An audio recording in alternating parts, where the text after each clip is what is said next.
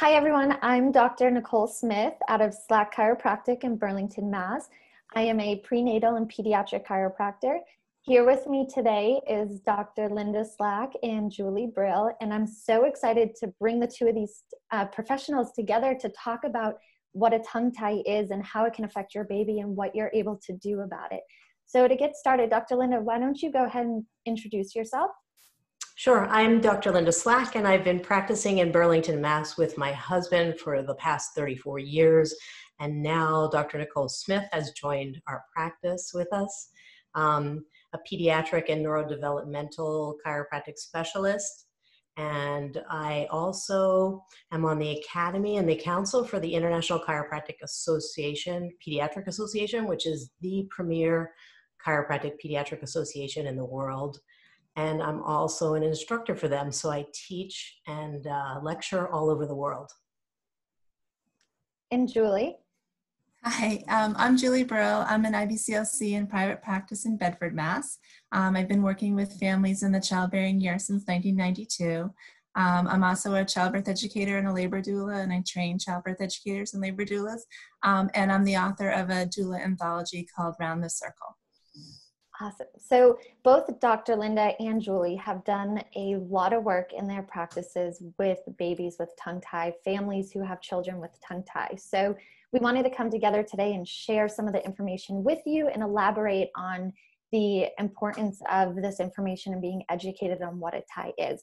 So to start, um, could you explain to us what are ties? Go ahead, Julie. Oh, sure. Um, so a tie is an oral restriction um, in a baby or in a person's mouth um, that keeps them from having proper function. So a person could have a tie under their tongue, under um, either or both lips, um, and there are also buccal ties in um, four locations. and so you can have one or multiple ties in your mouth. And Dr. Linda, how how would you say these ties affect you know the baby with breastfeeding or development. Yep. So the ties um, let's go back actually to the fetal development okay? So in in the womb at about 14 to 16 weeks those those ties or those frenulum are supposed to go undergo something that we call apoptosis meaning that they retract and then they become nor like uh, thinner so that especially like with the tongue for example the tongue will then be able to raise to the roof of the mouth onto the palate and to then from that time on begin to shape that palate properly for the the fetus in the womb.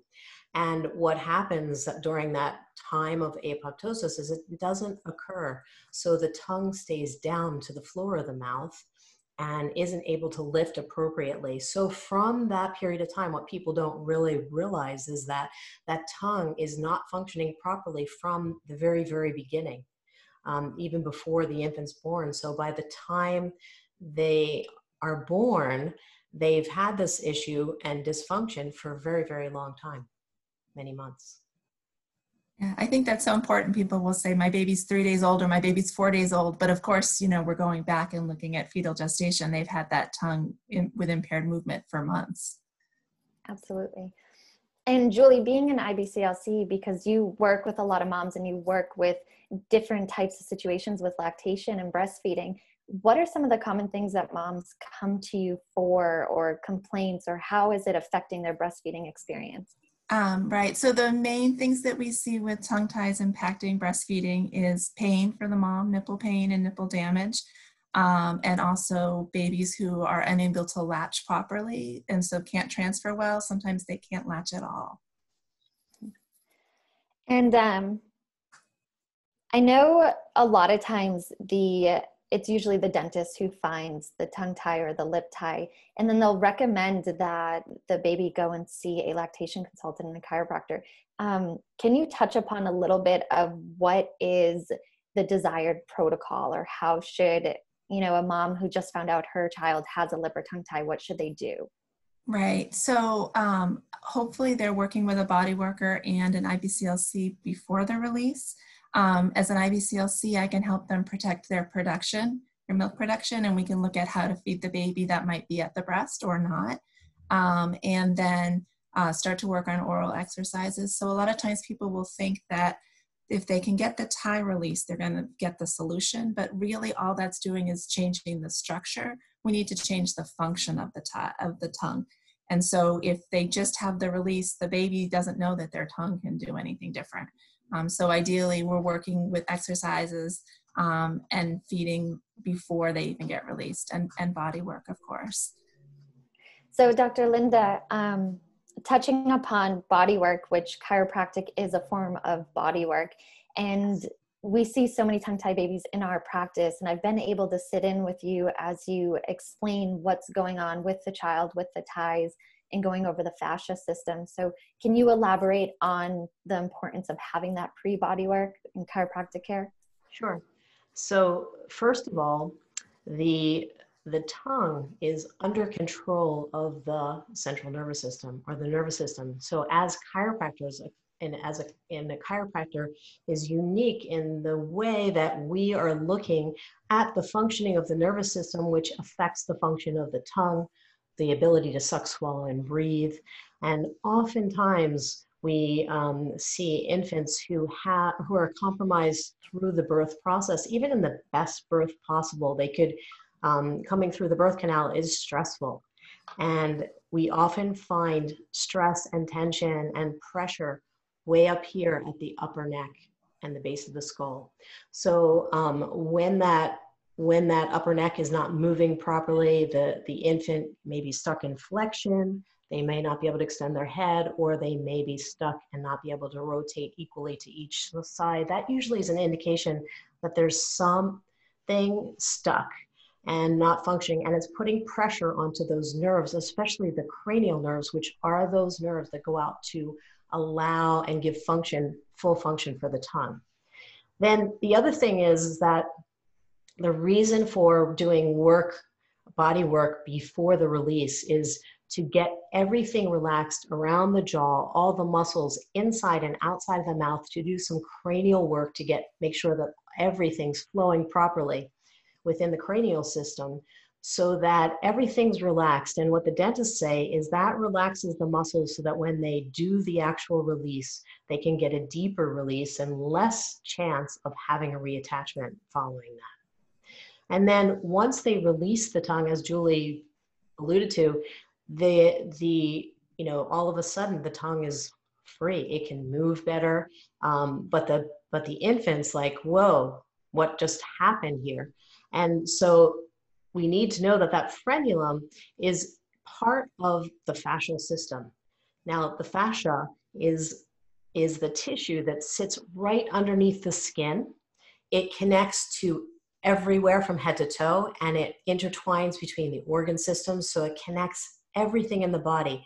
And so we take a taut, tight tissue and release it and then we're affecting the whole entire fascial system has to readjust so in the process of that we want to make sure number one that there aren't any fascial constraints anywhere else in the body and that's why we do craniosacral therapy and chiropractic and then we also want to make sure that there's no imbalance within the muscle system so one of the other things that I see when that tongue is released, there's a little bone under here that the tongue connects to. It's the only free floating bone in the body. It's called the hyoid bone. And when we release that tongue, this bone goes woo, like all over the place. And if it's out of position, it's going to create asymmetry in the tongue as well. So there's so much more than just that that we need to address and look at besides just the tongue release the coordinate. Yeah, exactly. If you think about the way that a baby wants to come to the breast or anybody wants to swallow, we want to do this. We never tuck our chin and do a big drink, right? So if the baby is stuck like this, um, they're they're never going to be able to get to the breast in a way that's going to be comfortable for them. They really need to be able to come up like this. Um, so tongue tie or no tongue tie, a lot of babies come through the birth process and they're they're in like that. We need them in extension. So would you say, Julie, with after a baby has had a release, um, they almost have to be retrained on how to breastfeed or how to get a proper latch, or what is the significance of them coming back to see you after the release? Right. So it's it's the baby and also the parent who need to kind of readjust. So the baby needs to learn how to use their new tongue and their new lip. If the lip was released and they weren't able to do the flanging at the breast, that makes breastfeeding so much easier for them and more comfortable for the parent. Um, so we need to help them learn what their tongue can do, keep flanging the lip until the baby one day realizes they can do that on their own. Um, but then also a lot of parents are helping the baby to eat, really doing the baby's job, and they don't even realize it. So it could be something as simple as the mom doing breast compressions to help the milk come out because the baby needed that help pre release. And now post release, she does it because she just thinks that's what breastfeeding is. And so to help her remember, no, that's the baby's job. Um, so sometimes it's a simple thing, but people don't even realize they're still doing it. Absolutely. So I know a lot of times um, a baby will have a release, but then they need to go back and get a revision done. Yeah. Would you, can you, either one of you comment on the importance of continuing with both types of care before the revision and after the revision, even though they already did it for the original release? I think in my practice, I see babies oftentimes after they've had a release and they didn't have any care either by the by a lactation consultant or a body worker before or after. So oftentimes parents you know are having difficulty the mom's having difficulty with breastfeeding from the very beginning and and rushes off right to the dental provider or the ent and they have um, the release performed while they're there because it's convenient and then they they they aren't told or they don't do that type of work and then moms can, may continue to it may work and they may have 100% success just like that but oftentimes it doesn't and then i'll see the baby after reattachment or the other reason is because the parents weren't given the proper uh, stretching and exercises to do and I think that's one of the things I know about Julie is that she is one of the only IBCLCs I know that actually gives a really good set of pre exercises and post to do for the parents. Yeah, I think when people are able to start doing those releases pre release, I mean, the exercises pre release, they um, are so much more comfortable in the baby's mouth after the release. Um, and the baby doesn't associate the exercises with the release. It's just something that's been part of their lives. Um, so I agree. If we can get the people doing those exercises pre-release, it makes a really big difference. Um, and to what you were saying, Dr. Nicole, if um, the baby goes in for a second release, we want to make sure that they don't need a third release. So really looking at what caused that reattachment in the first place so that it doesn't happen another time. Nobody wants to keep going back for that. Awesome. Um, we had another question that came up that someone was wondering does it impact or, or is there a need to rush? Like will a, the sooner you do a release change the outcome? Do you need to do it right away? I know some moms worry that maybe they didn't get to it soon enough. Right. I think it's much better to take a week or you know however long it takes two weeks to be able to get everything in a line before going in for that release because what people really want is they want a better outcome and you get that faster with the preparation pre-release than just rushing to the release. Um, it doesn't get you to where you're trying to go faster unfortunately. It'd be nice if it were that simple.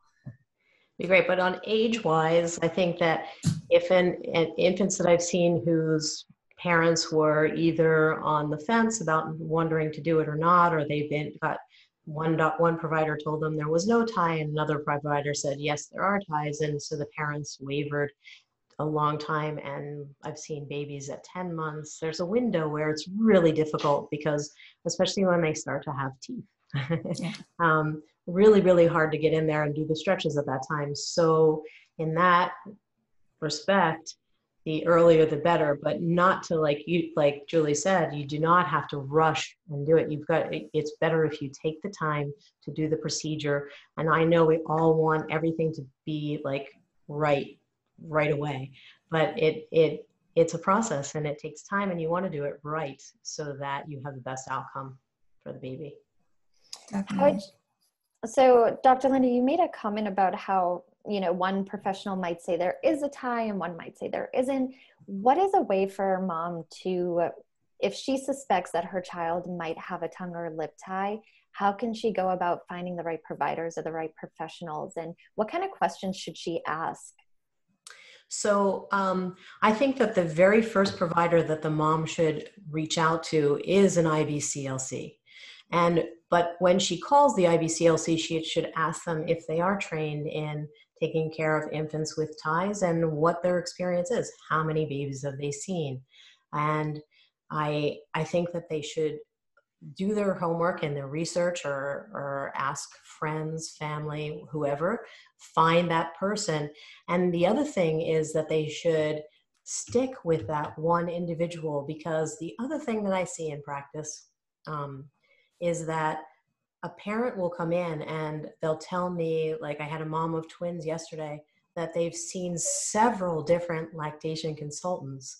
And, you know, it's, it's just like, um, anybody who has an injury or a health problem and they go from doctor to doctor to doctor to doctor and and that's of no help because they're not getting the correct care so they need to find someone who is experienced like julie and stick with them and follow care through with them and and and have that trust. And and i think that they do that because they're so frantic. They want it corrected as julie said right away today.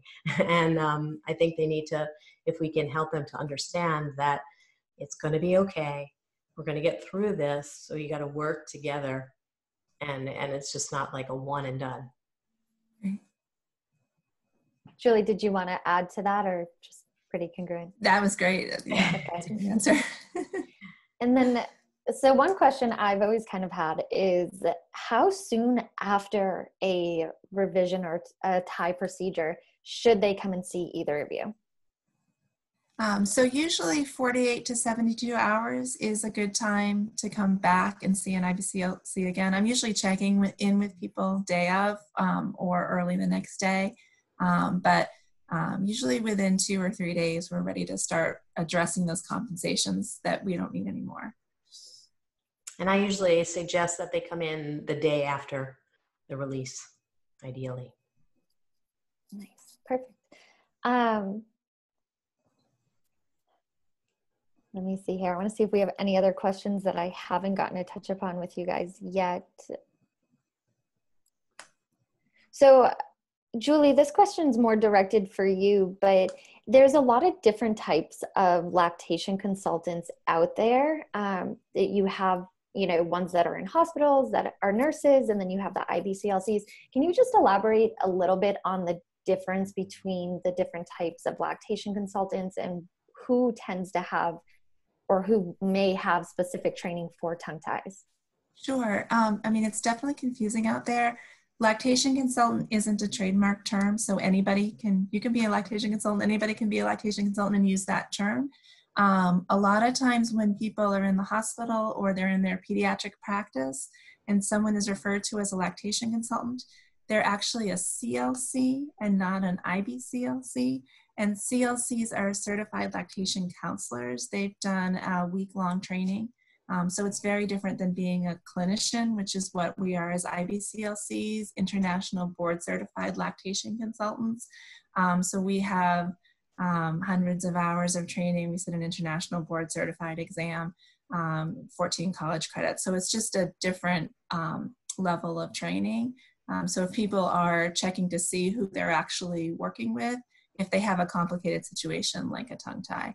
So for simple things, you know, there's lots of help for breastfeeding, but tongue tie can be more complicated.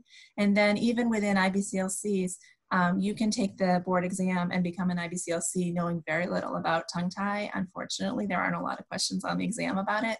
Um, so in order to really be able to help babies with ties, you need to have taken additional training. So they can ask people what that additional training is and, and how comfortable they feel working with babies who have ties, what their experience is.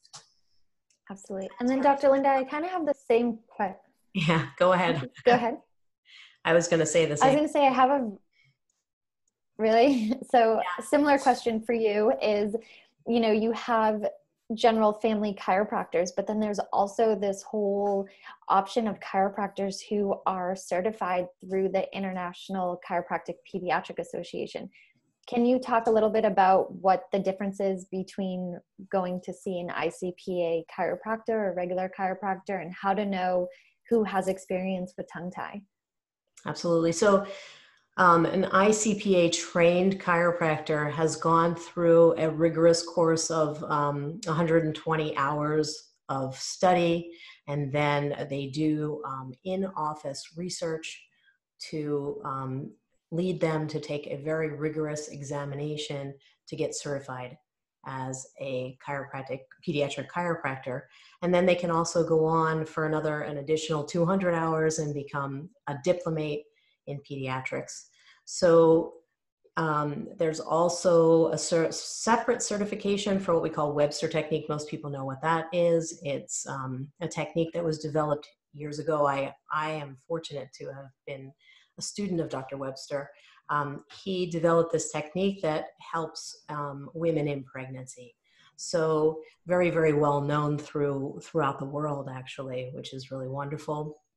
But um, when I tell people when they call a chiropractor that first of all, they want to look for maybe those credentials, which is CACCP at the end of their name, or go to the International Chiropractic Pediatric Association's website, icpaforkids.com, and look for not only you can be listed on that website just because you paid your dues and you may not be a certified pediatric chiropractor, but look for those credentials behind the chiropractor's name in the area that you live in, and you should be able to find somebody who's fully qualified.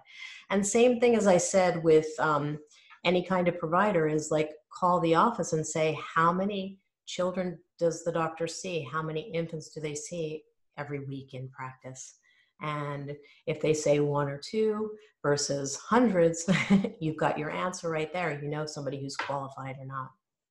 Absolutely. So, one of the reasons why I wanted to bring this up and have the both of you explain the different levels of your professions is not to say that who someone is seeing right now may not be good or they might not be great for what they need but there are different things to look for when looking for a provider and there's questions to ask. And even if you are seeing let's say you see a chiropractor who's not necessarily an icpa certified chiropractor at least it's something you can ask them and talk to them about. And if they you know are able to send you in a certain direction or help you in a certain way it's just extra knowledge for the parents to have and just more resources for you to be able to have in your belt.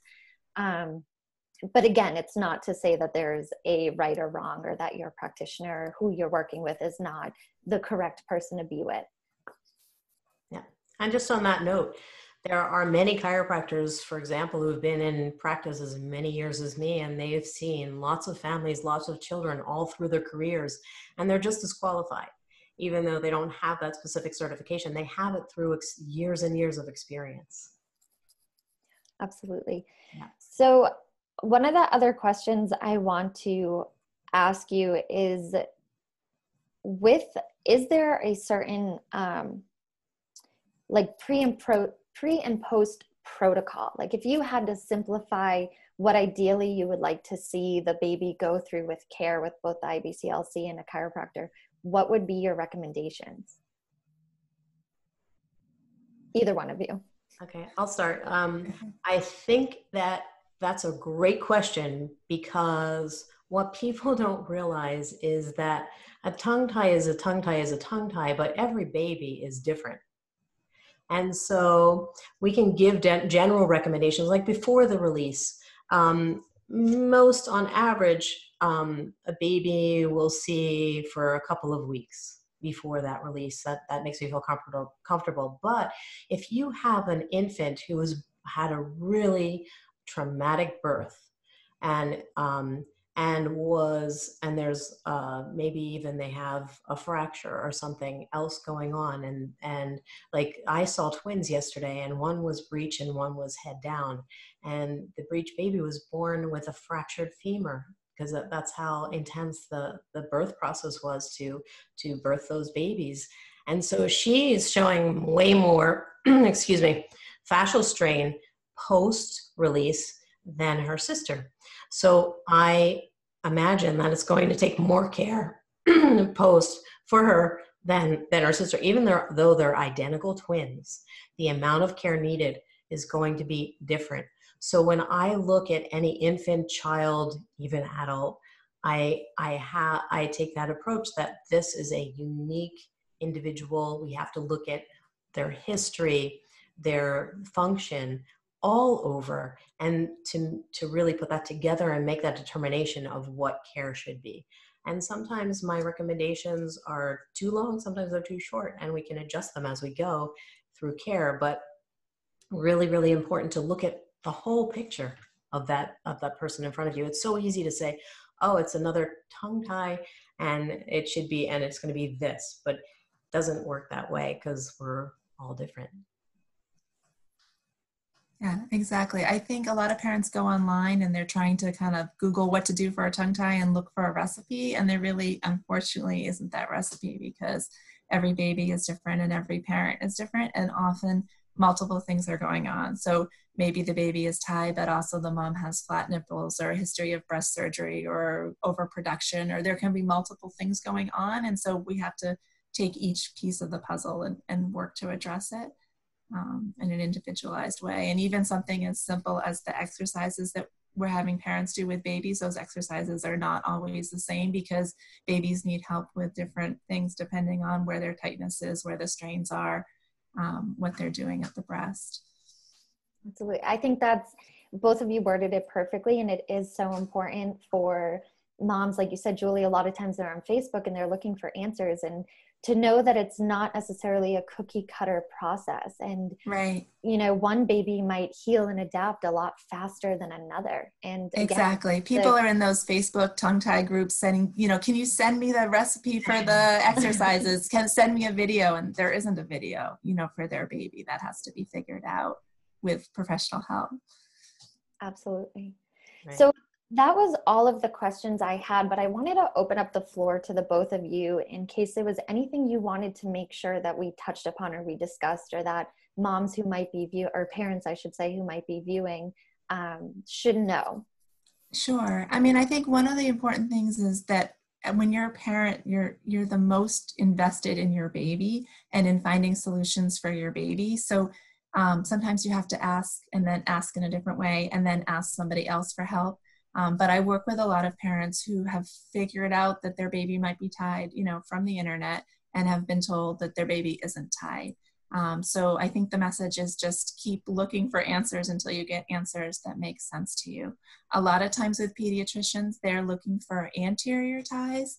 That is a tie, it's a more obvious tie, a tie that comes um, to the tip of the tongue or close to the tongue a lot of those babies have heart-shaped tongues. They can't stick their tongue out. It's a very obvious tie. And a lot of time the pediatrician will kind of look and if they don't see that, they'll say that the baby has no tie. But they mean there's no anterior tie. And it's very likely if parents are seeing a lot of these symptoms that aren't resolving, that there could be a tie further back, a posterior tie that the pediatrician can't see just by, you know, glimpsing in the baby's mouth. Um, so I think the takeaway is a lot of times when pediatricians say there's no tie, they just mean there's no anterior tie. The posterior ties are the much more common ones. There's been some cell death, as Dr. Linda was talking about, but not enough to have a normal frenulum. So keep keep looking. If you're out there and you're struggling with breastfeeding, there, there are solutions. Keep looking until you find them.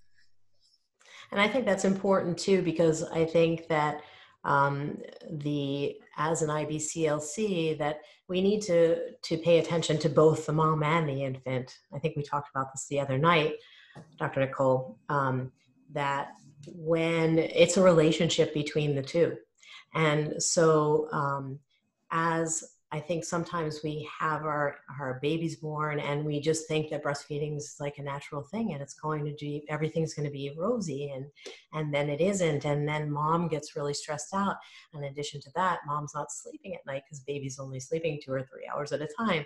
So we have all these things going on and, and um, we, we need the moms need to know that they're in the in the good hands of a good confident provider that can you know that they can trust that they can work through this relationship. Because sometimes like i've seen moms who like breastfeeding didn't get going ideally without pain and making it you know the wonderful relationship that it should be and the bonding for until four months. Now it takes a lot of rigor to stick through it for that long but um, i feel i know that it, how important it is to for the infant to be first of all in getting breast milk versus formulas because there aren't many healthy formulas out there if any i don't know and um, maybe the German ones are a little bit better, but there are chemicals in those formulas that um, are not good for the baby's health.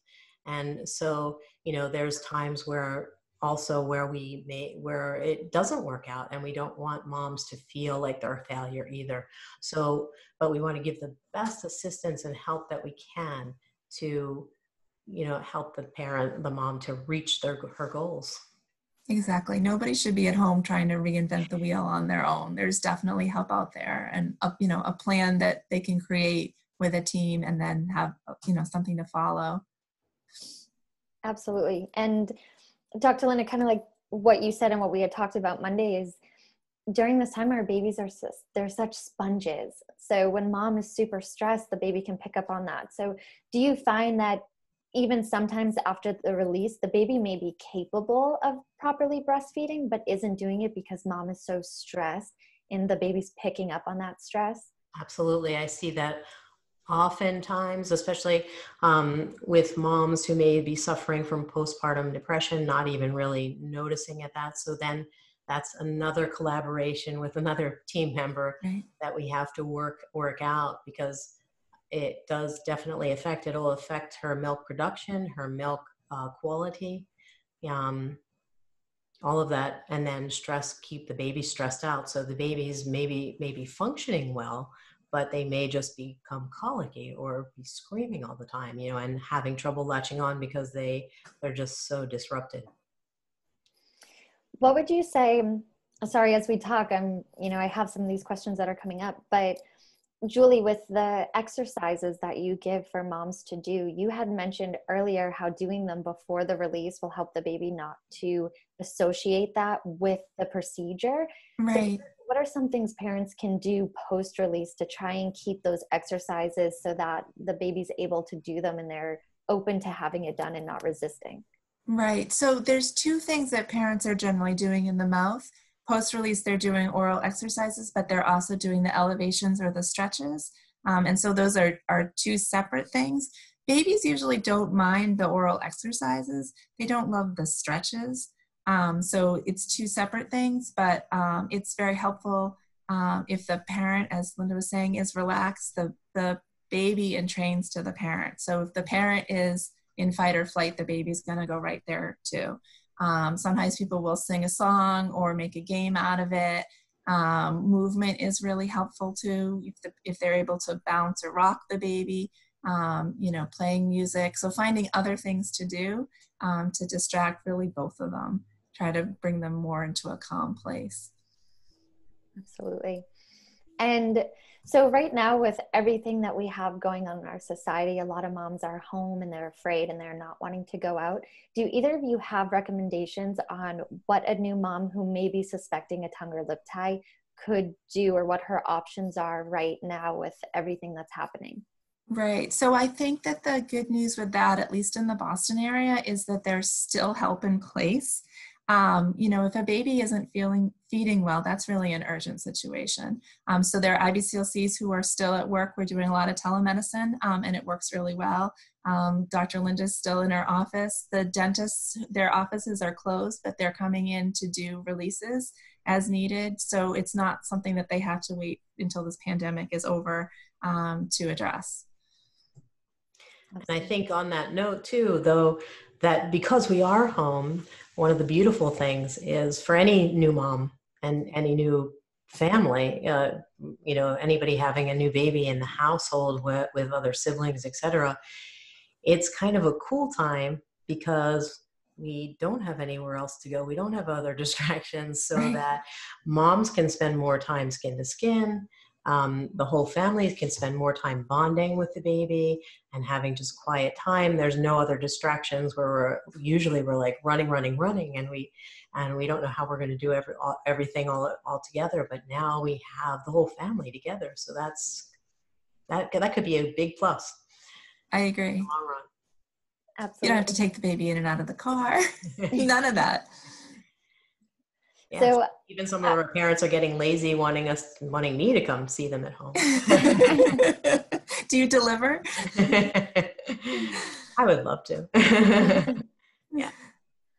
So as we um, wrap up here, I just want to recap some of the important things. So I'm gonna, what I would like to do is have each of you recap your few highlights that you want our viewers to have and to go home with. So for me, the few highlights I want to touch upon is A, it's so important for the parents to stay calm and to know that they're not alone and there's resources out there.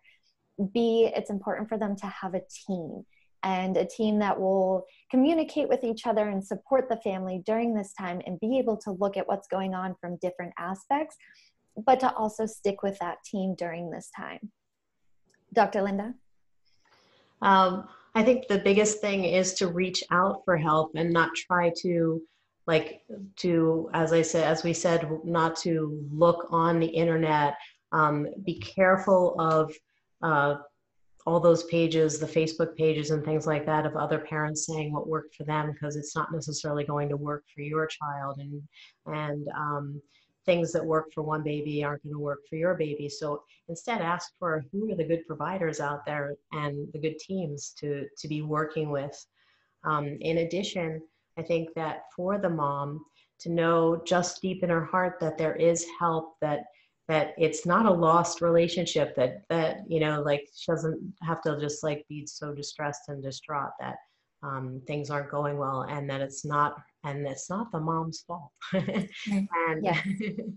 so um, uh, you know moms will come in all the time and ask if i you know do you think that this is going to work? And i'm like absolutely. We you know if you wish it to um, we you know we can make it happen. So that is the best thing that i can offer is yeah. just like have the parents the mom just be totally at ease knowing that she can make it work absolutely and julie um, i think that parents have really good instincts and i so i think if you're a parent and you're worried about how your baby is feeding um, I just would encourage you to keep seeking answers until you get answers that make sense to you. Um, there's a lot of information and misinformation out there about tongue tie, um, but to just keep searching until you find a solution that works for you and your baby. Um, breastfeeding shouldn't hurt. You know, babies should be able to transfer milk at the breast. Um, and if those things aren't happening, the question is is why um, and you need somebody to really be able to help you get to the bottom of, of fixing um, the situation and figuring out why the baby is struggling. Absolutely. So I'm going to go ahead and share my screen here and okay. So what I have here is the contact information for both Slak Chiropractic, where Dr. Linda and I work, as well as Well Pregnancy, where Julie is. So, with this here, I just want to encourage anyone who, you know, is concerned about a tongue or lip tie or has questions to reach out to any of us and know that we are here to help you and you are able to see us. And if for any reason we're not the ones who can help you, we will help guide you to someone who can. Um, with that being said, Dr. Linda and Julie, thank you so much for being on and for answering these questions and providing this information for the families that are out there. I know for me, I've really been looking forward to this meeting as I find tongue and lip ties are such a common, it's a hot topic right now, and there seems to be an increase in the prevalence of it. So this was super helpful for me, and I'm sure our families that are watching would say the same thing. Thank you so much, Dr. Nicole. Thank you, Dr. Nicole.